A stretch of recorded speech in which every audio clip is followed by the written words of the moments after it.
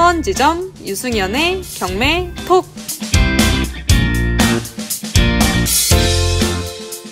자, 그럼 그 다음 다섯 번째? 다섯 번째는 어떤 사람이 있을까요? 다섯 번째는 음. 네 귀가 엄청 얇아가지고 음, 음. 어, 마치 창호지처럼 얇은 그런 분들 장어지처럼. 네 네. 그런 분들 진짜 너무 어렵지 않을까 왜 음. 그러냐면 음. 경매라는 거는 어쨌든 이제 나 내가 음, 이건 이렇게 재테크고 투자고 음, 그런데 음. 내가 이거를 어느 정도 이렇게 딱 내가 이렇게 가야겠다라는 걸 가지고 이렇게 쭉 가야 되는 건데 이제 그 우량물건 검색이라는 게 어느 거 하나에 이렇게 국한되어 있는 부분이 아니잖아요. 음. 근데 이번에는 뭐 이거 저- 요즘에 이거 뜬다 그러니까 막 그거 찾았다가 이번에는 음. 뭐 오피스텔 뜬다 하니까 오피스텔 막 찾았다가 음, 음. 막 약간 이렇게 해가면서 진짜 굉장히 이게 귀가 얇은 사람들이 또 그렇잖아요. 굉장히 흐리부동하시잖아요.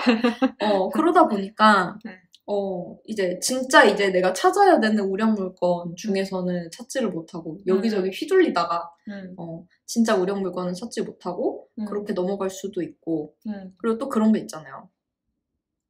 이제 시세 조사 하면서 여기저기 음. 물어보잖아요. 음, 근데 이거를 내가 들으면서 이제 좀 의심도 하고 그 분석도 하고 음. 이래야 되는데 그게 아니야.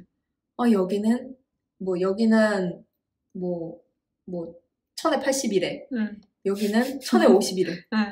어디가 진짜지? 그랬는데 누가 말을 막 이렇게 더 열심히 해줘, 친절하게 해줘. 그러면 아 그럼 여기가 맞겠구나. 약간 음. 이러는 약간 그 귀가 얇으신 분들이 있으시잖아요. 음, 네. 그쵸. 그쵸. 네 그런 그런 분들 아, 어, 왜냐면 이제 시세 조사를 했을 때그 음. 분석이 저 시세 조사가 정확하게 되지 않으면 그 다음에 낙찰가 결정이 안 되는 건데 음, 음, 당연히 그 뒤 이제 그 뒤에가 제대로 안 되는 게 너무 당연한 건데 음, 어 여기서 갔 여기 갔다가 저기 갔다가 음. 나중에 보니까 또 아닌 것 같았다가 음. 이렇게 되면 음, 당연히 경매를 하시기는 경매를 할 수는 있겠죠.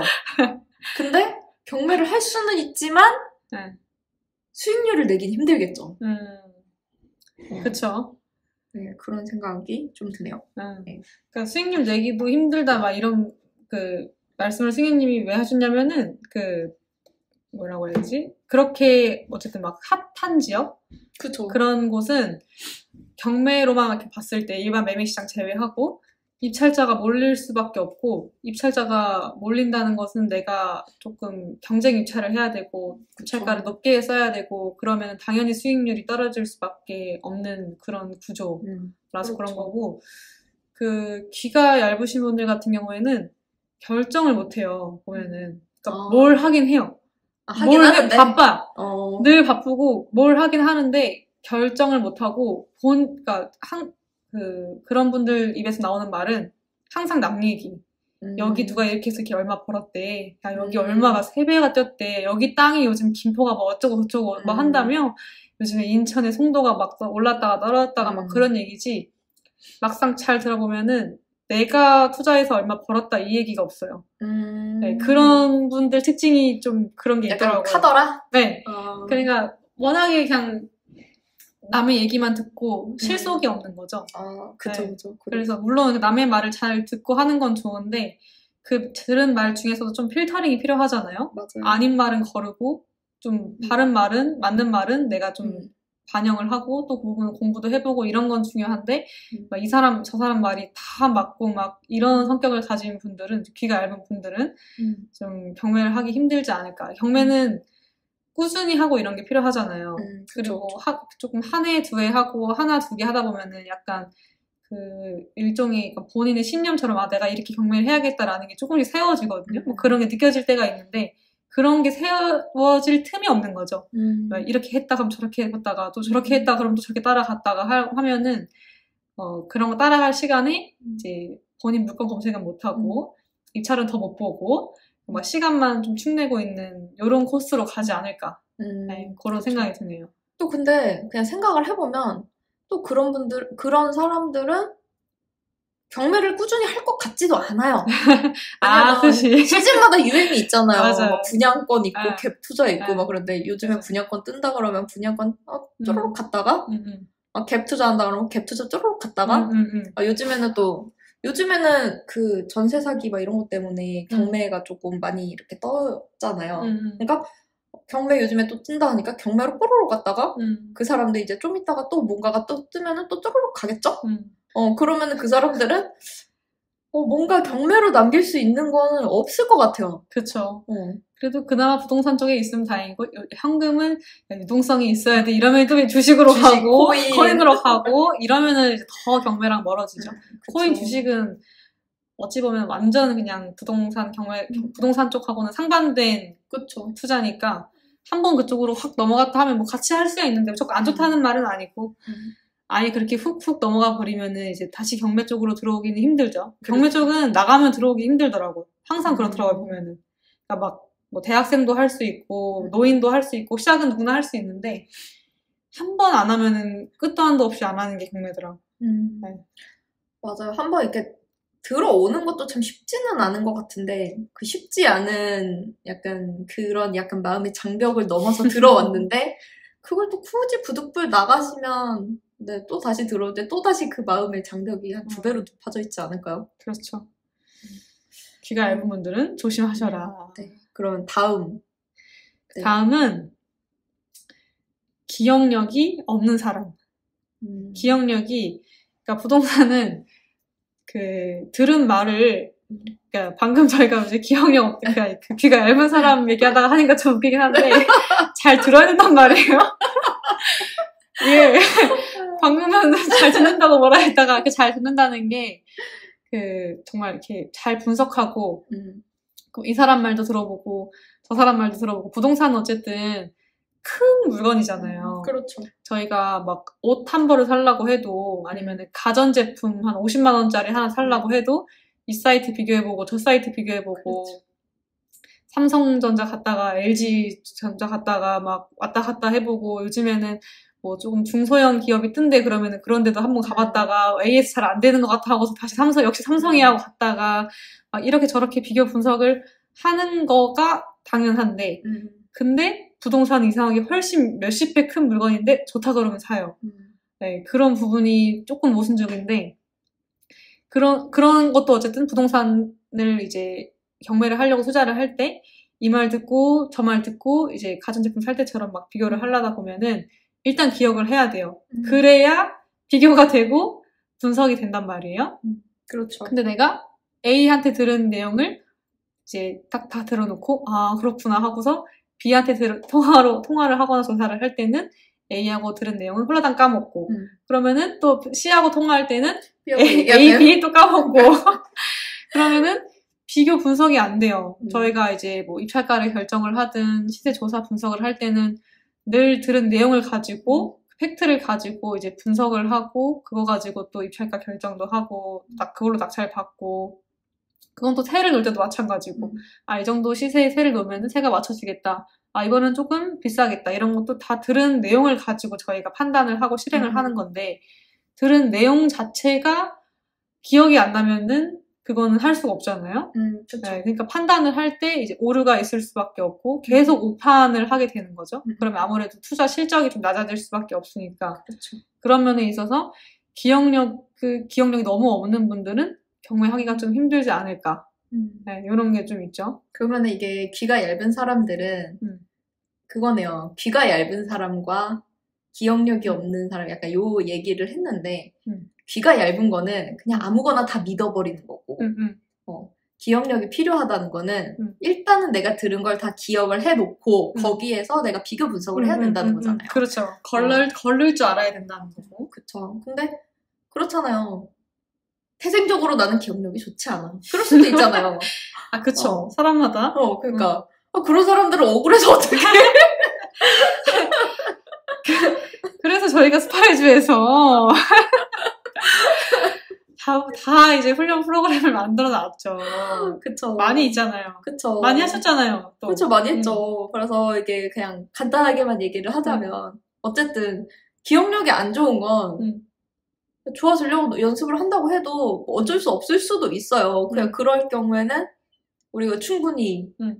얘기를 하고, 메모, 얘기를 하면서 메모를 할 수가 있잖아요. 음. 적어 놓을 수가 있고, 음. 뭐 이제 스파레주에서는 나부나부라고는 하지만, 음. 하는데, 이제 그 충분히 어- 얼마든지 적어놓고 내가 그 상황을 이제 복귀시킬 수 있으니까 음. 어, 그런 대체할 수단을 충분히 활용을 하시면 되고 그러면 어, 사실 그 기억력을 조금 보완할 수 음. 있지 않을까. 네. 그렇죠. 메모하는 습관 같은 거 들여놓는 것도 네. 연습이죠. 그쵸. 그런 부지런함이라도 있어야죠. 그렇기 때문에 있어야지. 게으르면 안 된다. 그러니까 다 같은 말이라니까요? 다 비슷비슷해. 경매 잘하는 게 되게 어렵네요. 이 모든 걸 갖추고 있어야 되네. 그러니까요. 네. 어, 그리고 그 다음은 어, 남의 말을 절대 안 듣는 사람. 어. 이게 저희가 약간 너무 약간 이게 좀 뭔가 극단적인 거를 그러니까요. 제가 싫어하는지 어쩐지 어. 모르겠는데 남의 말 절대 안 듣는 사람 있잖아요. 음, 음. 얘기를 했어. 음. 그랬는데 이제 그런 거 있잖아요. 귀가 얇은 사람하고 비슷할 수도 있는데 내가 뭐 A라는 데 가가지고 여기가 뭐 월세가 80만 원이라고 들었어. 음. 어, 뭐 2천에 80이라고 내가 들었어요. 음. 2천에 80이 80만 원이 너무 마음에 드는 거야. 음. 근데 그러고 나니까 다른 데서 아니다 거기 2,080 그냥 이거 그 사장님들이 보통 하시는 얘기 음, 음. 할게요. 때려 죽여도 그래도 그거 안 나온다. 막 약간 이러면서 얘기를 해요. 음. 막 2천에 80은 무슨 거기 1천에 50이나 받아도 잘 받는 데야. 막 약간 음. 이렇게 하는데 거기는 그러면 뻥튀기를 튀긴 거 이제 뻥튀기를 한 거겠죠. 그렇죠. 근데 A에서만 그렇게 얘기를 하고 B에서도 C에서도 절대 그 가격 안 나온다. 음. 어, 2천에 8, 2천에 80이 무슨 말이냐 이러는데 난 이미 2천에 80이 너무 마음에 들어버린 거야. 어, 이미, 이미 꽂혔어. 어, 너무 마음에 들어버린 거야. 음. 안 들려. 음. 어, 그 많은 얘기들을 다 무시해 버리는 거예요. 어. 어, 막 그렇게 해가지고 남의 말을 절대 안 들어. 어. 어, 그런 사람이 해- 괜찮겠어요? 아, 그러면은, 아, 한 3, 3년이 아니고 30년 동안도 새를 못 맞출 수도 있죠. 그러니까. 네. 그러니까 이제 그렇게 해서 좀 음. 귀를 닫고 사는 사람 뭐 이런 거 말고도 뭐 여러 가지 경우의 수가 있겠지만 음. 그렇잖아요. 뭐 이렇게 뭐 조사를 하고 뭐 이렇게 얘기를 물건에 대해서 얘기를 하다 보면 음.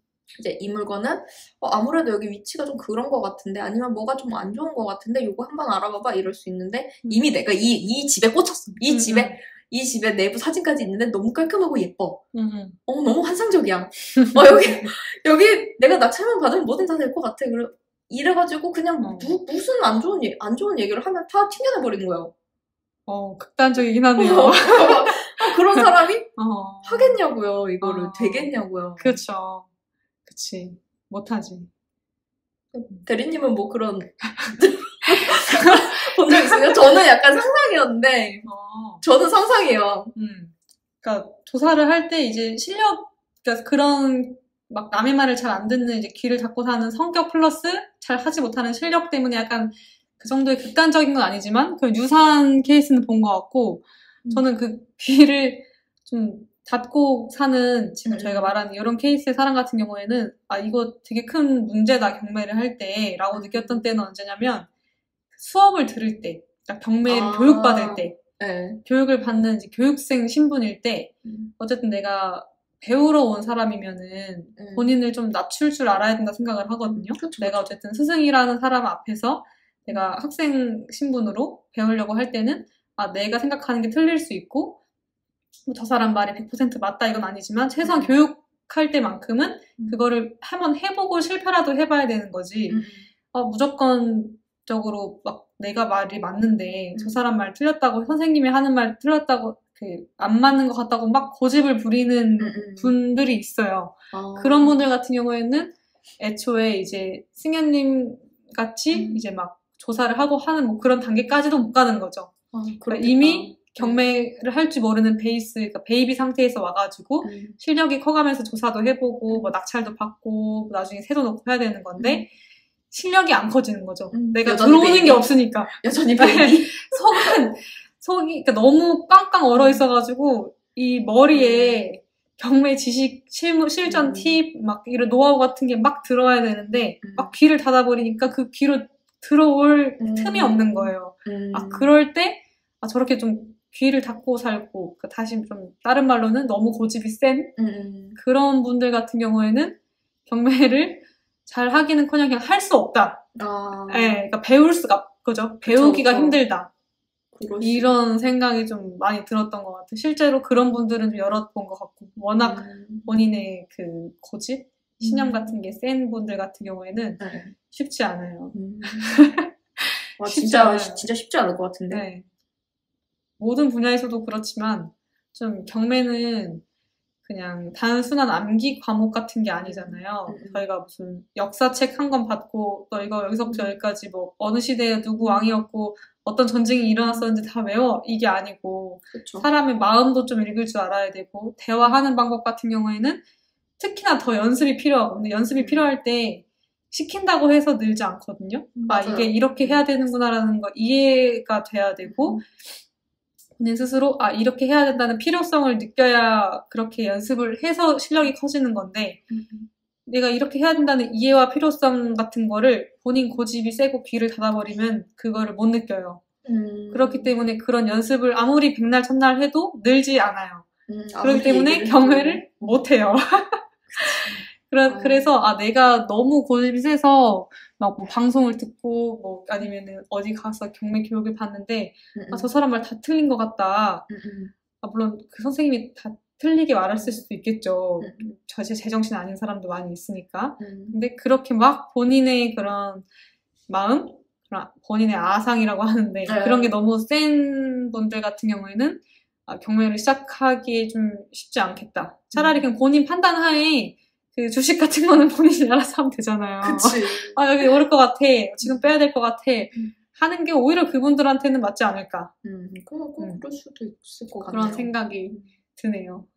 그래서 이렇게 딱 많이 있습니다, 얘기를. 얘기를. 어, 들으면서 내막내 가슴이 너무 답답해지는 어막 그런 느낌이 드네요. 음, 네, 쉽지 않아요. 그러게요. 그럼 이렇게 마지막 음. 끝 어떤 게 있었을까요? 마지막은 어, 한탕주의. 그러니까 네, 인생은 한 그쵸. 방이야. 음, 요런 주의. 음, 좀 요즘에 아, 그 한창 유행했었던 코인 네, 종목하고 좀, 좀 약간 유사한 느낌의 성격인데 음, 나는 무조건 1년 안에 10억 벌어야 돼.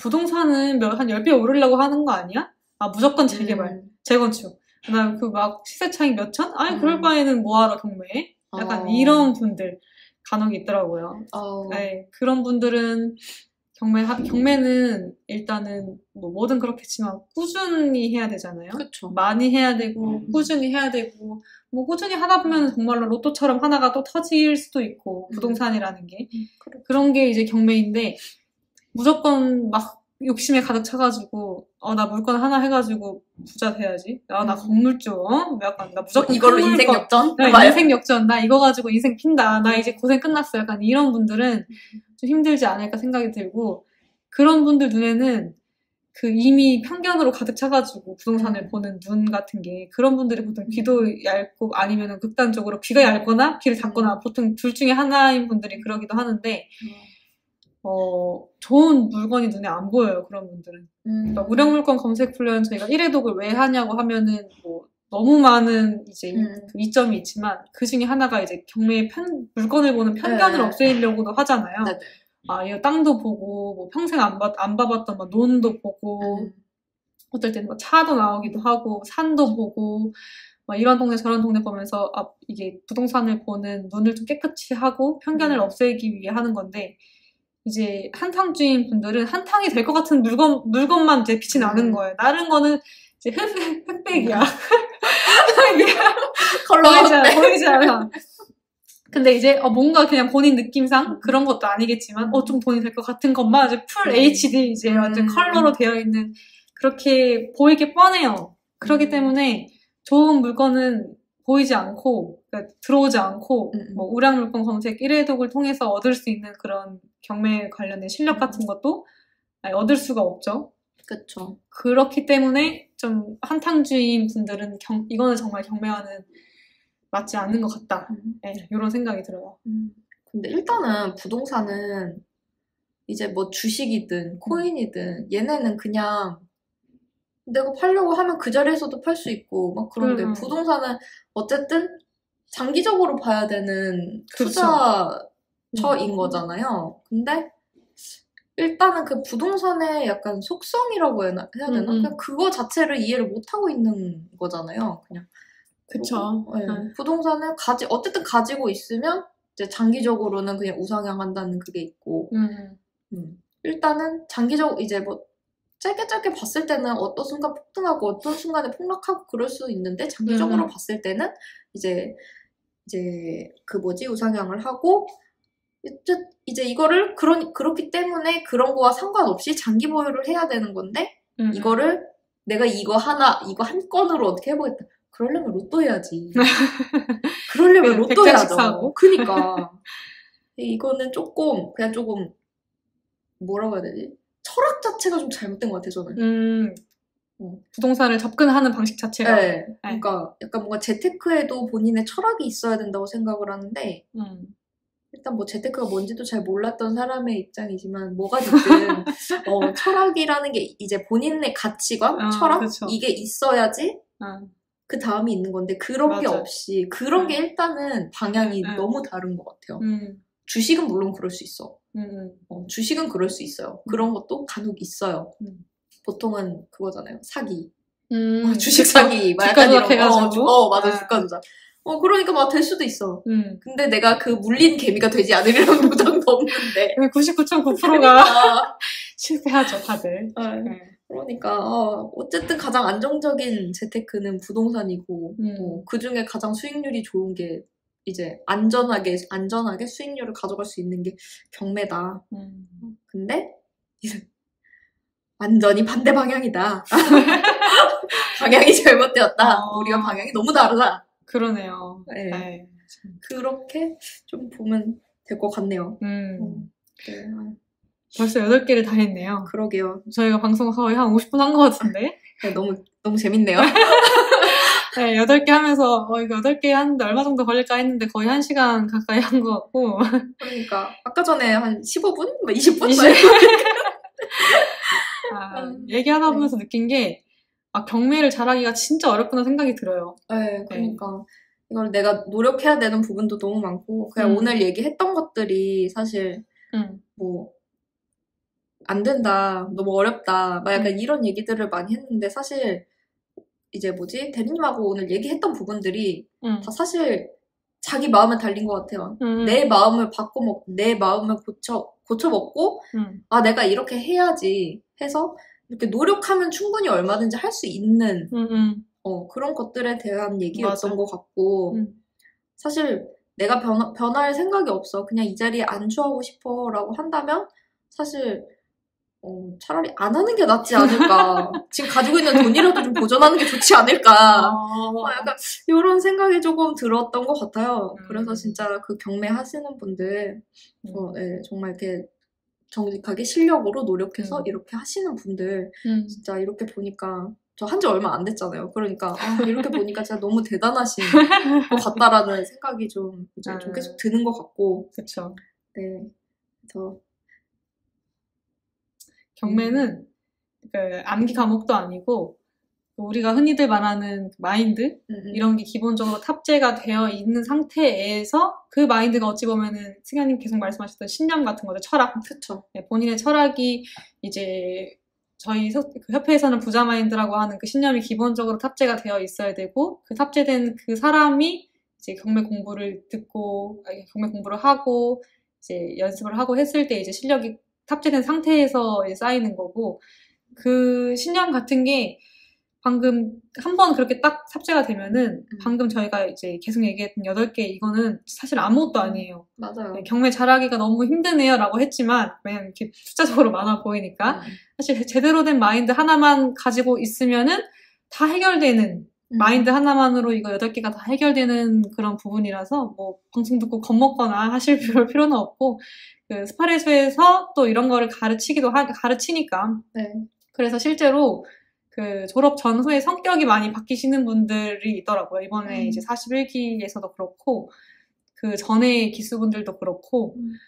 뭐 저도 그랬던 것 같고 음. 경매를 배우면서 경매를 배운다는 거가 이제 아까 이제 방금 제가 얘기했던 마인드를 같이 배우는 거다 보니까 음. 그 마인드가 꼭 경매에만 국한되지는 않거든요. 맞아요. 일상생활을 하면서도 뭐 친구를 만나든 가족을 만나든 세상을 바라보는 눈이든 대화를 하는 방법이든 영- 이런 데서 다 영향을 미치기 때문에 음, 사람 자체가 많이 바뀌어요. 음, 저희는 이제 경매형 인간이라고 표현하는데 그렇죠. 네, 많이 바뀌어서 이게 실제적으로는 어렵지 않다. 음, 네, 그런 말 좀 하고 싶네요. 원한다면 다 할 수는 있다. 다 할 수 있다. 다할 수 있고, 네, 그냥 네 무슨 지금 무슨 말을 할지 모르겠네요. 모르겠, 모르겠는 그런 말 그런 그 표정을 짓고 있어가지고 그냥 마무리 제가 하자면 그 다음 방송에서는 저희 아까 얘기 나왔던 것처럼 오늘은 경매를 해선 안 될 사람들을 음, 했지만 뭐 바로 다음 방송일지 아니면은 뭐 다다음 방송일지 모르겠지만 저희 음. 언젠가는 음. 어이 사람은 경매를 잘 할 인재다. 어, 어, 아 너, 이런 어. 사람은 잘하겠다. 너 왜 경매 안 하니? 어, 너이 상태에서 경매만 배우면 너는 부자가 될 수 있어. 하는 사람은 어떤 사람이 있는지 네. 그 유형에 대해서 한번 파헤, 파헤쳐 보는 시간을 가져보도록 하겠습니다. 네, 그래서 오늘 방송은 어, 여기서 마무리하도록 하고요. 저희는 다음 방송에서 뵙도록 하겠습니다. 네, 네, 감사합니다. 감사합니다. 구독과 좋아요는 필수인 거 아시죠? 소중한 분들과 함께 해주세요.